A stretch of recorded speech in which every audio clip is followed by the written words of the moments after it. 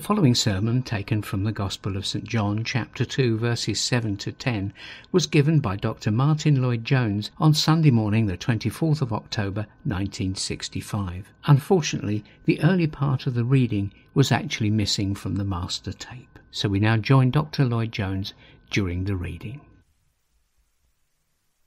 Well drunk, then that which is worse. But thou hast kept the good wine until now. Then the summing up is this beginning of miracles did Jesus in Cana of Galilee and manifested forth his glory, and his disciples believed on him. Now we are looking at this account which is given here of this first sign or miracle which was wrought by our Lord at the marriage feast of Cana in Galilee. And as I'm explaining, we are interested in it not merely as an event in history, which it was, of course. these are historical facts. These are records of events that have actually taken place. We are interested in it rather as uh, showing the way in which the greater blessings which our Lord came into this world to give us are to be received. In other words, I am suggesting still that the fundamental text for us to keep in our minds is the 16th verse of the first chapter of this Gospel according to St. John, where we read, And of his fullness of all we received, and grace for grace. He came into the world and taught and lived and died and rose again and returned to heaven and is seated at the right hand of glory now, in order that you and I might receive of his fullness. That is the object and the end of the Christian message, the Christian gospel. He makes us sons of God. But in addition to that, he puts us into a position in which we can in this way receive of his fullness. Nothing, therefore, is more important than that we should know how we can receive of that fullness. And here, thank God, there is a great deal of instruction given us. There are many pitfalls. We are surrounded by difficulties, and there is our great adversary, the devil, who would ever lead us astray, and even transform himself into an angel of light and twist the scriptures in order to hinder us, as he has hindered us all. Therefore, nothing is more important for us than to discover the rules, the principles which govern this whole matter. And I'm suggesting that in this miracle, we are given very great and valuable instruction on that very matter. And that's why we're looking at it together. If you like, I can put the whole thing like this. Take that hymn we've just been singing. Is it true of us? Were we singing our experience? That's the test, that's the question. We tend to sing the tunes and not the words. But this is what we sing Jesus, the very thought of thee with sweetness fills the breast. There it is, and all that we went on to say. Now, that is an expression of true Christianity. The man who wrote those words was uh, writing his experience. That's why he wrote it. And that is, according to the New Testament, the position that we all should be in. We don't merely hold these things with our intellects. That isn't Christianity. But it's a life, and a whole life, and a full life. And it is, of course, especially related to Him, of His fullness.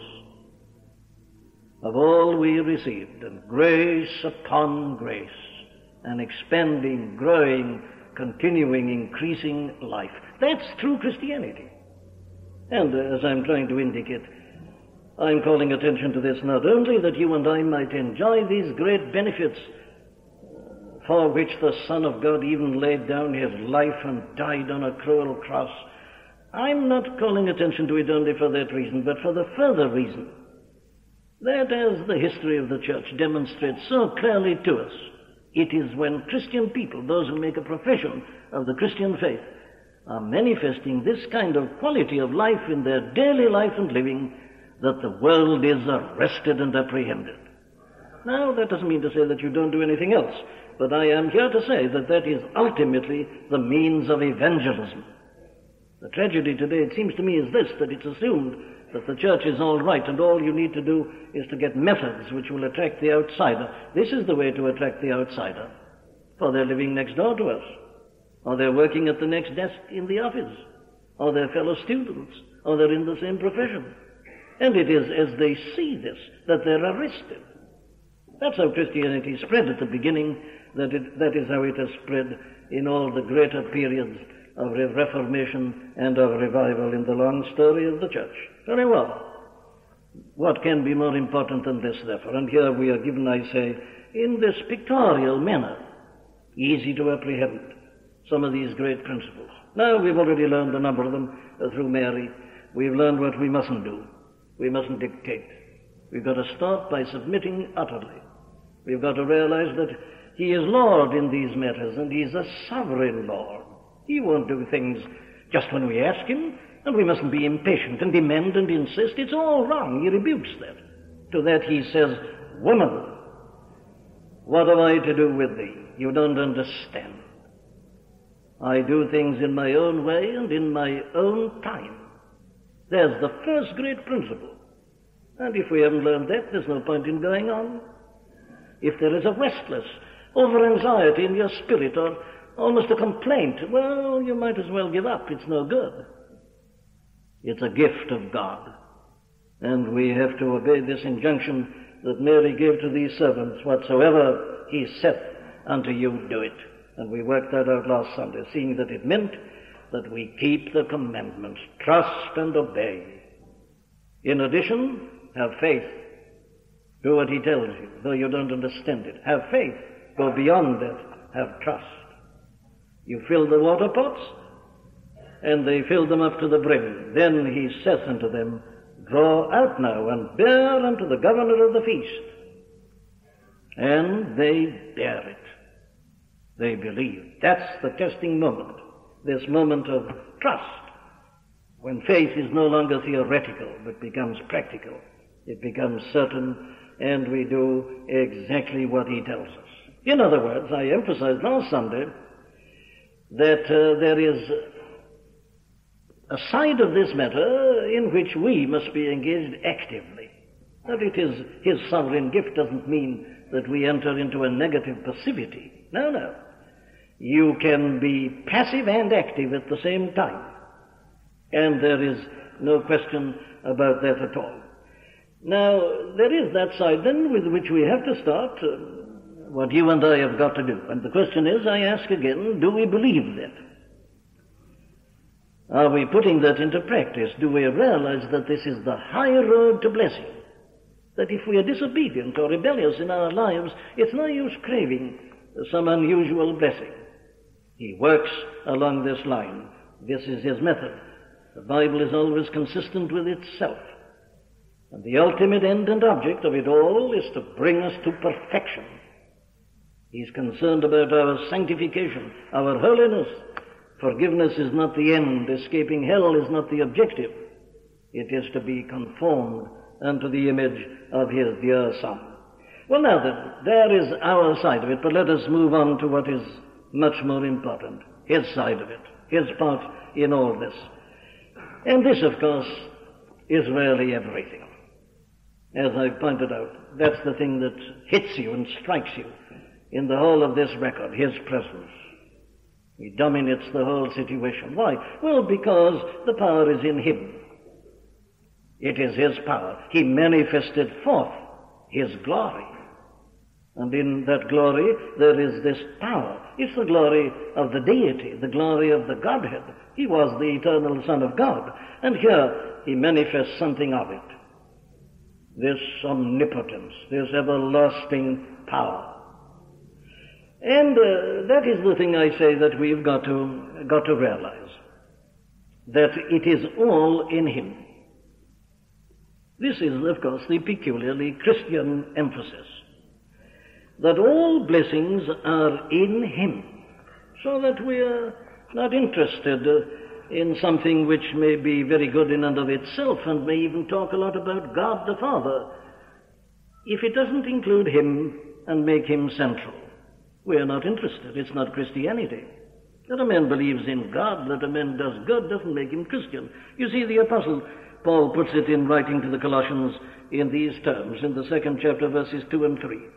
He says that their hearts might be comforted, being knit together in love, and unto all riches of the full assurance of understanding, to the acknowledgement of the mystery of God and of the Father and of Christ, in whom are hid all the treasures of wisdom and knowledge. That's it.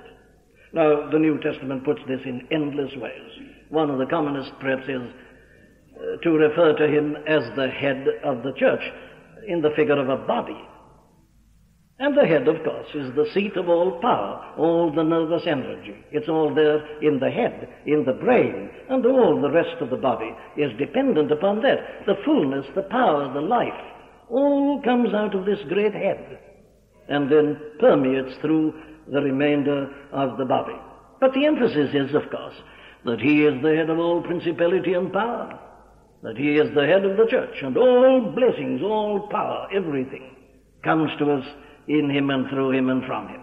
In other words, as these people at the marriage feast of Cana of Galilee had reached a point uh, at which they were utterly and solely dependent upon his ability, so are we.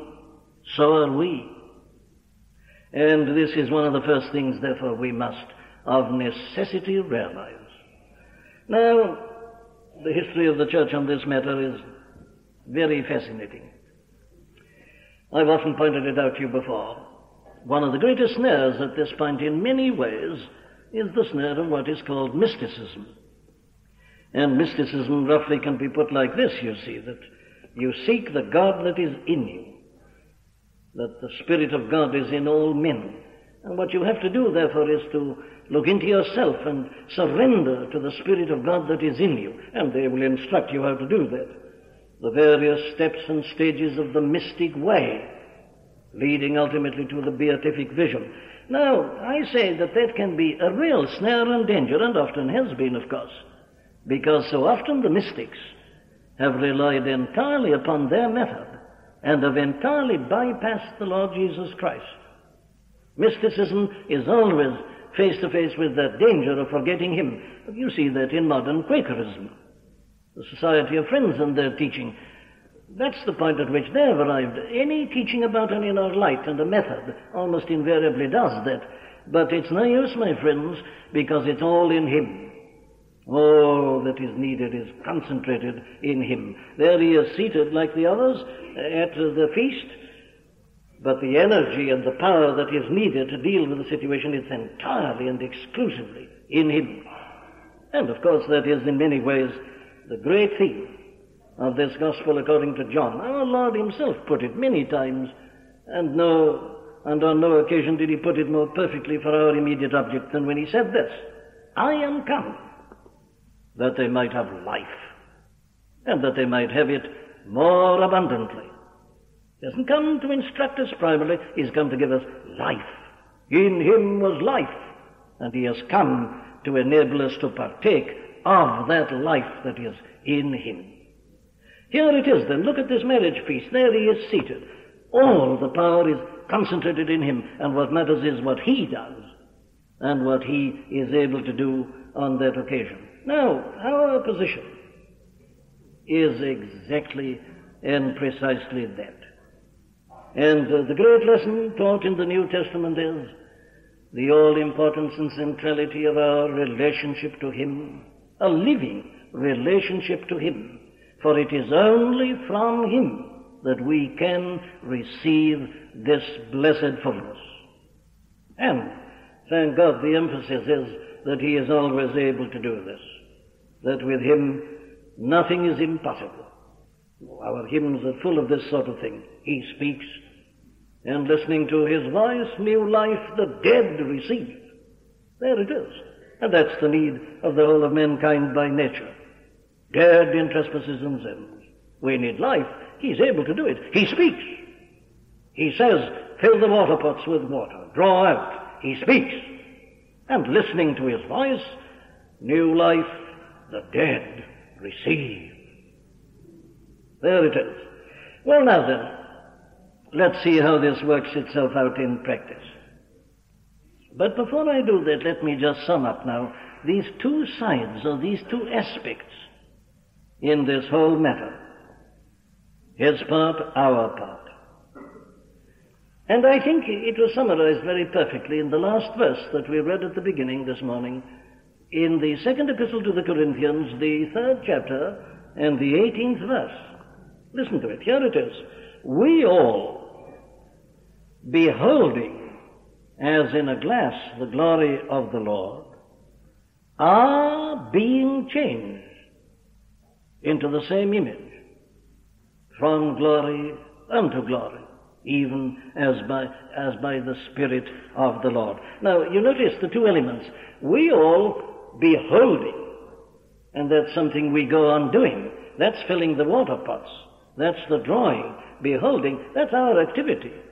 If we don't behold, nothing will happen to us. We've got to do the beholding. We are beholding, looking upon, gazing upon, setting our, our eyes steadfastly upon. That's the meaning of the word. And you go on doing it. Beholding, as in a glass, the glory of the Lord.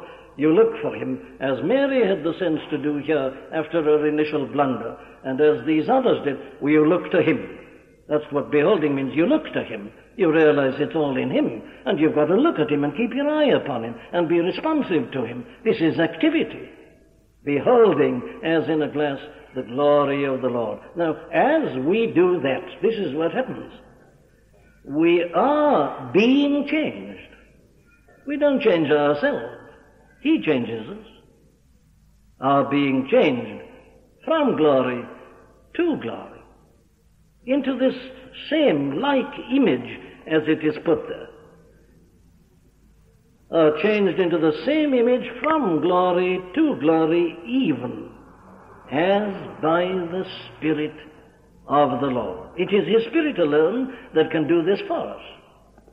And we look, keep our eyes, our gaze upon Him, and as we do so, He does this. He changes us from glory to glory. And on and on the process goes. Or oh, you've got it again in almost exactly the same way in Philippians 2, 12 and 13. Work out your own salvation with fear and trembling, for it is God that worketh in you both to will and to do of his good pleasure. Work out, work, he works in. And so, you've got it all here in this pictorial form. Fill the water pots, draw out the water. And then and even while you're doing that, He is working the miracle. Very well, there we have emphasized uh, these relative activities. The activity of the believer, the activity of the Lord, the Savior. But now let us go on and have a look at the nature of the blessing. This, of course, again, is something that is most wonderful for us, and nothing more encouraging and nothing more stimulating. What you and I have to realize, I think, first and foremost, is what is possible to us and for us. It's an amazing thing, but it's possible for us to be Christians and to read our New Testament diligently and regularly and really miss this. Isn't that the trouble with the church throughout the centuries? The failure to realize what is possible for us. You see, the New Testament epistles are full of that kind of thing. Take, for instance, the great epistle to the Ephesians. The Apostle Paul has been reminding these people of what's happened to them and where they are and what they are. And then he tells them in the third chapter that he's praying with them. He bows down his knees unto the Father of the Lord Jesus Christ and he prays for them with great urgency and intensity. These people who are already believers and have got the seal of the Spirit upon them, what is it? Oh, that they may be able to comprehend with all saints what is the length and breadth and depth and height, and to know the love of Christ which passeth knowledge, that you may be filled with all the fullness of God. He says, You don't realize that. I want you to. I remind you. He says it in the first chapter to them. The eyes of your, understanding being enlightened, that you may know what, what is the hope of your calling, and the riches of the glory of his inheritance in the saints, and the exceeding greatness of his power to usward that believe. We live as paupers. Why? Well, very largely because we don't know our inheritance. We're not meant to live as paupers. We were meant to live as princes and to enjoy of this great wealth that he has come to make available. The unsearchable riches of Christ, That's what we are meant to have. And I say it is very largely because of a, a kind of initial difficulty to apprehend this and to realize that this is meant for us, that it's true for us. That the New Testament is as applicable to us as it was to the first century Christians. I notice a tendency, a teaching creeping in at the present time which seems to me to cut out most of the New Testament. That was only for the first Christians. They say, don't take too much from the book of Acts, it was only for the first Christians. And then, of course, they're bound to say the same about the epistles, for they were written to the first Christians also, and assumed the book of Acts. And thus, you see, the Spirit is being quenched, and men and women are told that they've already got everything they can ever receive, and all they've got to do is to go on quietly surrendering themselves. That seems to me to be a negation of the whole of the New Testament teaching. Let me show you what I mean. What is the nature of this blessing? Well, let me divide it up according to what we are told in this illustration into under two main headings. Let us look for a moment at the general character of this blessing. Before we come to the particulars, look at its general character. And the first thing that we've got to emphasize, of course, is this that it is miraculous. It is miraculous. That's obvious, of course, in our story. This first miracle, this beginning of miracles, a sign, a miracle, and that, as I've reminded you already, means the action of God. It is God alone who can do this. And it is the very essence of this teaching. As that which happened in Cana of Galilee was a miracle, so entering into and receiving of His fullness is a miracle. It's nothing less. And this is so vital. It is something, I say, entirely supernatural. It is something which is the result of the activity of God. I am not ashamed of the gospel of Christ, says Paul to the Romans. Why? Well, because it is the power of God unto salvation to everyone that believeth. Christ, he says to the Corinthians, is the wisdom of God and the power of God. It's powerful. These are the New Testament terms. A Christian is not a man who absorbs a certain amount of our Lord's teaching or a Christian philosophy. That's not Christianity. A man can do that who's just a natural man, an unchanged man, a man who belongs, as it were, to Adam. That's quite feasible. It's often happened. People have often borrowed the Christian ethic and the Christian teaching, but that doesn't make them Christians. What makes a man a Christian is that God has worked a miracle in him. And it is nothing less than a new creation. It's a new birth. It's the giving of a new life. These are the terms that are used. Or take the way, again, the apostle puts it to the Ephesians, you were he quickened, who were dead. That's the difference between a man who's not a Christian and a Christian. It is the difference between a man who is spiritually dead and a man who is spiritually alive. Now, that's the matter of life. And no man can ever produce life. It's impossible. God alone is the author of life. And that is why I'm emphasizing this miraculous character of the blessing that is offered to us in Christ Jesus. We are not promised that we shall be better men. But what we are promised is that we shall be new men, that we shall be entirely different.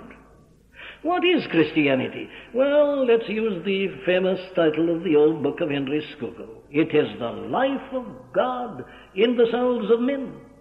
Now, the importance of this, you see, comes out like this.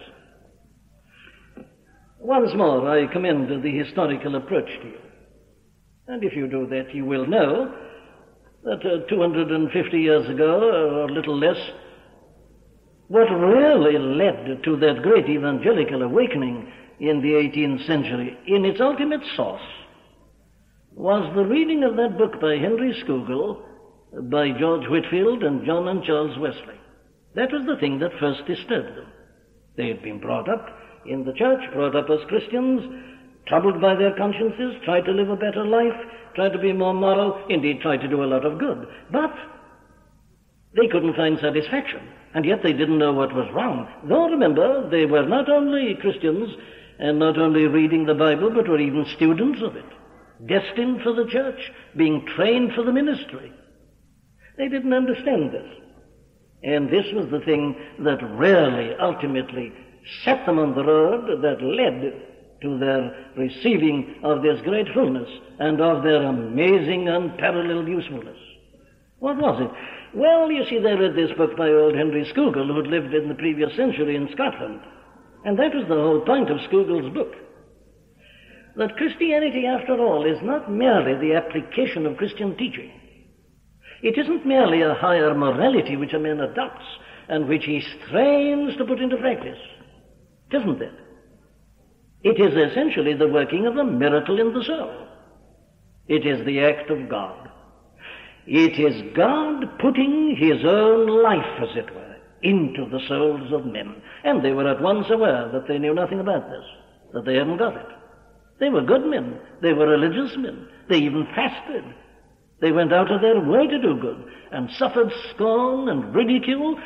But no, it didn't matter. They knew that they hadn't got this life inside them. They had not become partakers of the divine nature. This was something entirely strange to them. They'd never even thought of it. They said, ah, but we've been doing this and that, and it leads us to nothing. We see now that Christianity essentially is something God does to us. It is the implanting of this seed of divine life within us. The whole thing that is taught, of course, in the first epistle of John, as it is here everywhere in this gospel, and indeed in the whole of the New Testament. Now, here is the first thing. There in the marriage feast of Cana of Galilee, the whole situation is transformed solely by the supernatural action of our Lord. He acts, He does something. It's a creative action. Oh, well, let me put it in that great phrase of the Apostle Paul, 2 Corinthians 4 6. God, who commanded the light to shine out of darkness, hath shined in our hearts to give the light of the knowledge of the glory of God in the face of Jesus Christ. You see his comparison. He says, what's happened to me is comparable to what happened at the original creation. It is God commanding light to shine forth in darkness. And he's done that to me, in my heart, he says. Well, you see, here it is. Or take again, we read it this morning, in 2 Corinthians 3 3. Same thing. He says, You are the epistles of Christ, known and read of all men. Manifestly declared, he says, to be the epistles of Christ, ministered by us, but written, not with ink, but with the Spirit of the living God, not on tables of stone, but in the fleshy tables of the heart. Now, this is real, true Christianity. The action of the Spirit of God, writing a new name in our hearts, doing something within the depths and the vitals of the personality. You see the comparison that the apostle uses, and it's a very important one and a very vital one, and it's needed today as it was needed then. You see the comparison that the apostle uses, and it's a very important one and a very vital one, and it's needed today as it was needed then. He contrasts the position of a Jew under the Old Testament dispensation with the Ten Commandments written and engraven on stone. He says it isn't that. That's the letter. This is the Spirit. And it isn't written, therefore, with ink, as it were, on tables of stone. This is altogether different. This is a writing on the fleshy tables of the heart. And nobody can do this but the Spirit of God. Paul there says, even he hadn't done it, ministered by us. He'd come in, as it were, he was used as an instrument, but it wasn't his writing, it wasn't his work. There is only one who can perform this work. It is the Holy Spirit of God, sent by Christ. The power is in him. And it is in this way that he does it, this act of new creation. The implantation of the seed of divine life down in the very depths and abysms, as it were, of our souls and spirits and beings. Now that's the thing of which we are reminded here. You see, it isn't that something was put into the water which made it nice and tasty. No, there's a radical operation. There is a change here, and it is miraculous. And of course, this is the teaching. Every Christian is a miracle. To bring anybody from death to life is a miracle. And that's exactly what happens to us all spiritually uh, when we become truly Christian. You was he quickened. You was he raised together with Christ. Very well then, there is the first great point, but let me hurry to a second. And the second point about it is the suddenness, the suddenness with which it happens. Now, don't misunderstand this. I am going to emphasize that it uh, is also a process and a gradual one, but I start with the suddenness. And I've got to do this not only because I must be true uh, to the incident which we're analyzing, but because I must be true to the whole principle taught in this connection in the whole of the New Testament. I've got to emphasize this aspect because it is the only way to put ourselves in a safe position as over and against the manuals of devotion and the process which is taught by the mystics in the Roman Catholic Church and by others who imitate them and who follow them. We have got to keep it distinct and discreet that it is His action, that it is a miraculous action, and therefore it is something that can happen in a flash, in the twinkling of an eye. It happened here. Draw out now and bear unto the governor of the feast. And they bear it, but it had already happened. And this is an aspect of this Christian life and this receiving of His fullness that we must never lose sight of. Let me illustrate what I mean. You see this so often in the recorded experiences that many have left to us of their knowledge of Christ and of how they entered into this knowledge and received of his fullness. And what you find with a strange regularity and constancy is this that here are men and women who are disturbed. At last, they've seen there's something wrong. They're dissatisfied with the Christian life they've been living. They say, when I really look at the New Testament, and then look at myself, I, see the disparity. Or when I sing those hymns, I sing those hymns but when I stop and think what I'm singing, I know they're not true of me. And I'm being a hypocrite. I'm not singing my own experience. Now, they've become disturbed. And then they begin to seek and to search. And they may go on doing so for a long time, but nothing seems to happen. Then you will find that almost without exception they say, suddenly, everything became clear to them. Something happened within them. Something was done to them. And out of the darkness and the despair and the sense of hopelessness and futility, there came great joy and peace. Now I say, I could keep you not only for the rest of this morning, but for many, many mornings in giving you examples and illustrations of this. You will find, I'm not talking about conversion, I'm talking about Christian people who are living still, as it were, under the law, who suddenly are lifted to another level and go on living on the mountain tops of the Christian life and the Christian faith. That's the thing we are dealing with. I'm preaching to Christian people. And I'm just trying to show you what is possible to us as Christians. The tragedy is we come into this life, so many of us, and are content with forgiveness and the first beginnings, and then just go on living a kind of moral life using Christian terminology. But there it is. It's a life of failure and often of frustration. And it lacks this great power and principle of assurance that characterizes the New Testament people. Now then, here they are, I say, and that is their testament. Happened suddenly. Everybody knows the famous examples of Charles Wesley and John Wesley. That's how it happened to both of them. Suddenly. And that is how it has happened, I say, to innumerable saints, well known and unknown. But I'm not confining this solely to the realm of individual experience. It is here, I think, we find our only comfort and consolation when we look out at the whole case and position of the Christian church as a whole. And here again, you see, the testimony of history is of such inestimable value to us. The whole story of the church, in one sense, can be described as a series of Pentecosts. I mean by that a series of revivals. Here's the picture. At the first beginning, there they are met together for prayer in the upper room, waiting praying, pleading.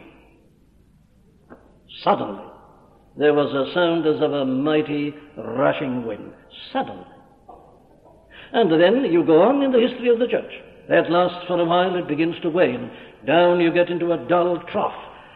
And again some people are disturbed and awakened and begin to seek and to pray and to plead with God. And they may do so for years and nothing happens. Then, suddenly, and often unexpectedly, something happens again. The Spirit is poured forth upon them. That is what we mean by revival. The descent of the Holy Ghost upon a number of God's people together. And the whole situation is transformed, exactly as it was in Cana of Galilee. This tremendous thing, He's acted. So that we are bound to emphasize this particular aspect. I say it is here that one is filled with a sense of hope for the Christian church. If it were always and invariably a gradual process of development and of increase, well, then I, at the present moment, would be filled with a sense of despair, for things are not getting better, but they're getting worse. But because of this principle, you see, that doesn't daunt one, that doesn't upset one at all. For we know this from the long history of his activity in his church, that that's exactly how he's happened. He seems to withdraw himself. Things go down and down and down until the church seems to be finished. And when she's completely hopeless, he arises, he speaks, throw out the water. And they draw out and they find that it is this perfect wine. That's how it's always happened. No, that doesn't mean, as I say, let me remind you again, that we do nothing and sink therefore into a state of passivity. No, no. Fill the water pots. Fill them up to the brim. Do everything he tells you. Don't leave anything undone. Act with all your might. Fulfill all the conditions. But remember, the power is his. It's miraculous. It can happen at any moment, suddenly, when least expected. It's the hope for every individual in this congregation this morning. I'm sure I'm speaking to many who are almost at the point of despair in this way that you felt a dissatisfaction with the quality of your Christian life, perhaps for years, some of you. And you've been doing this and that and praying, but you say nothing happens. Is it all hopeless? My answer to you is this. No, at any moment when you least expect it, sometimes a light surprises the Christian while he sings. It is the Lord who rises with healing in his wings. Because it is his power, because it is his prerogative, he can do it whenever he likes, at any moment, in spite of the conditions, as it were. He demands them, and you and I must keep them. He is not tied to them. He can act in his own sovereign manner at any moment. He's done it in the history of the church. He has done it in the history of individuals. He can do it, and he will do it in the history of every individual who does whatsoever he tells us and who waits in faith upon him. But let me come to the last point for this morning, which is the secret aspect of this. And this is to me something very wonderful. Did you notice this? When the ruler of the feast had tasted the water that was made wine, and knew not whence it was, then in brackets, but the servants which drew the water knew, the governor of the feast called the bridegroom and saith unto him, Every man at the beginning doth set forth good wine, and when men have well drunk, then that which is worse. But thou hast kept the good wine until now. What's this mean? Oh, this is the secret aspect of this matter. The master of the feast, the ruler of the feast, he'd been at many similar feasts. He said, This is extraordinary. I've never seen anything like this before. This is unusual. He was amazed. He didn't understand.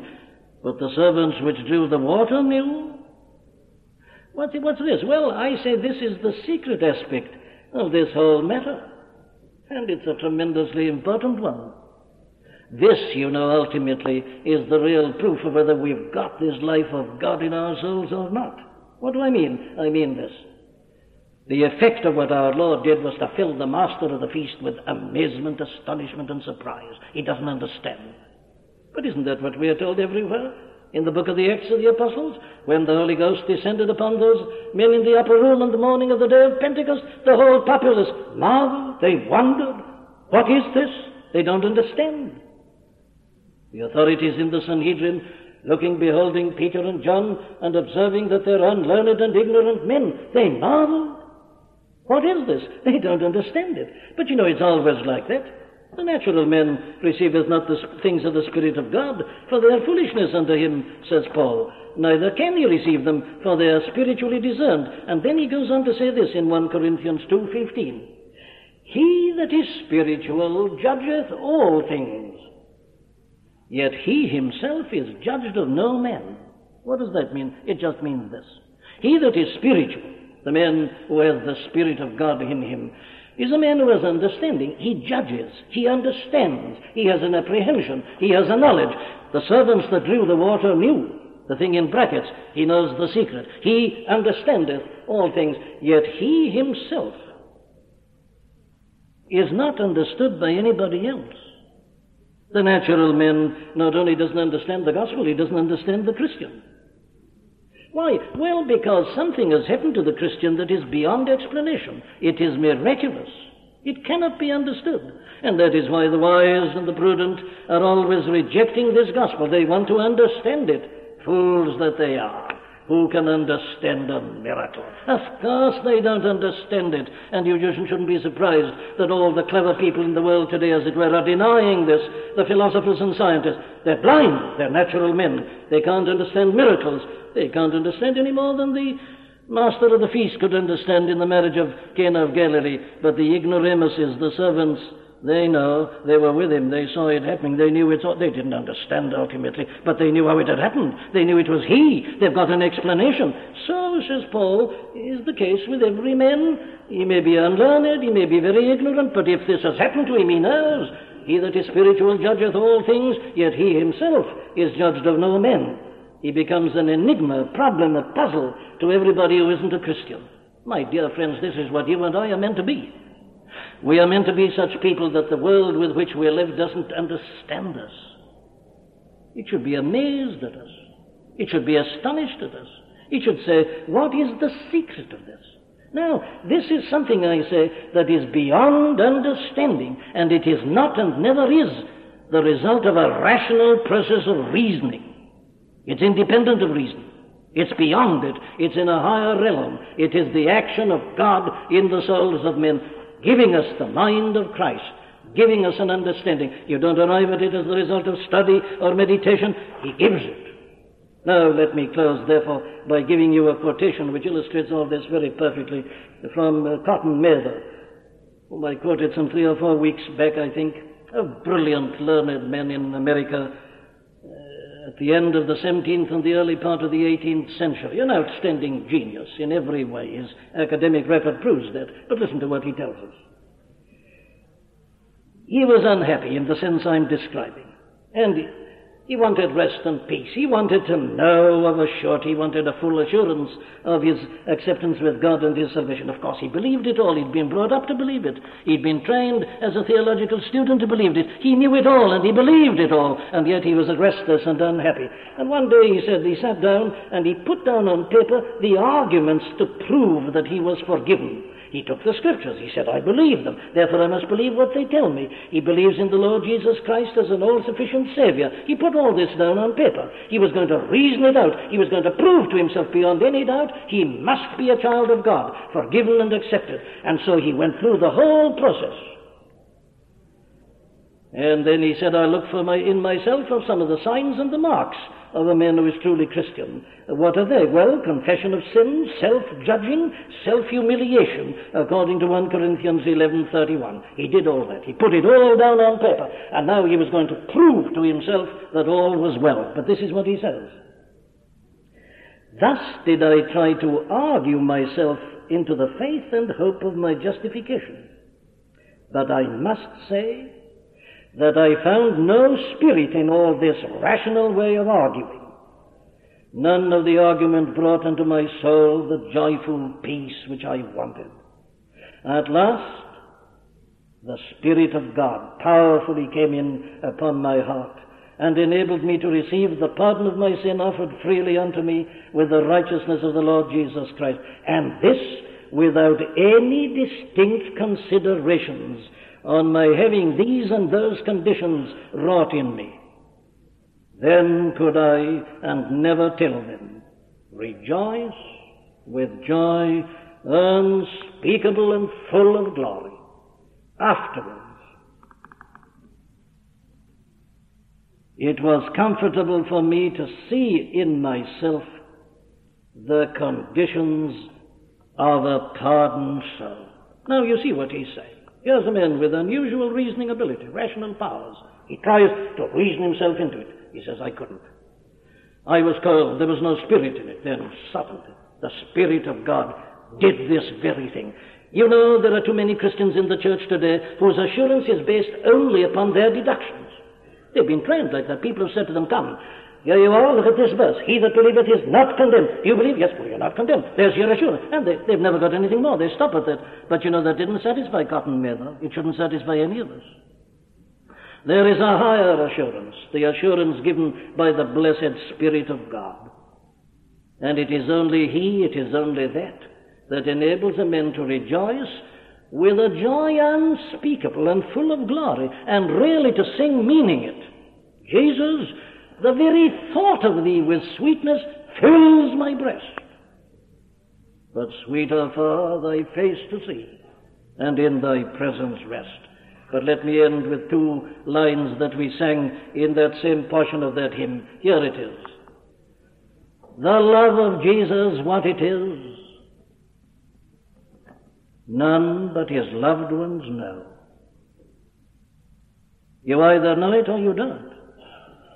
You can't really tell anybody what it is. They don't understand. It's not something arrived at as the result of a rational process. There is a secret element. The master of the feast is astonished and amazed, but the servants that drew the water, they knew the secret. This is the secret. It is only known by those who have received it. So let me put it to you like this, as you find it in the book of Revelation, in the second chapter and in verse 17. Here's the same thing. He that hath an ear, let him hear what the Spirit saith unto the churches. To him that overcometh, will I give to eat of the hidden manna, and will give him a white stone, and in the stone a new name written, which no man knoweth, saving he that hath received it. Now, my friends, here's the question. Are you partaking of the hidden manna? This food to eat of, this water to drink of that the world doesn't know. Our Lord said that about himself when they were worrying about him not having any food. He says, I have food to eat of that you know not of. And here it is, the Christian has it. The hidden manna, the world doesn't know it. It's not in your supermarkets. It's not advertised in your papers. The world doesn't know anything about it and there are many inside the church who know nothing about it. The hidden manna, feasting on the bread of heaven, hidden. And have you got the white stone? And in the stone a new name written, which no man knoweth, saving he that receiveth it. Have you ever prayed to him? Write thy new name upon my heart, thy new best name of love. And do you know that he has written it? Has he written the name on the white stone? Have you got this secret knowledge of him and his life giving, satisfying power? Well, my friends, we must leave it at that for this morning. But there are some of the principles taught us in that old incident of the first miracle wrought in Cana of Galilee. And now may the grace of the Lord Jesus Christ and the love of God, and the fellowship and the communion of the Holy Spirit abide and continue with us, now throughout the remainder of this, our short, uncertain earthly life and pilgrimage, and until we shall see Him face to face and see Him in all the fullness of his glory. Amen. We do hope that you've been helped by the preaching of Dr. Martyn Lloyd Jones. All of the sermons contained within the MLJ Trust audio library are now available for free download. You may share the sermons or broadcast them. However, because of international copyright, please be advised that we are asking first that these sermons never be offered for sale by a third party. And second, that these sermons will not be edited in any way for length or to use as audio clips. You can find our contact information on our website at mljtrust.org. That's mljtrust dot org.